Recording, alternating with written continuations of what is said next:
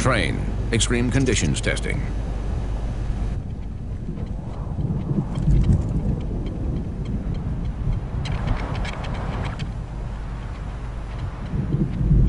It's hard to stop a train.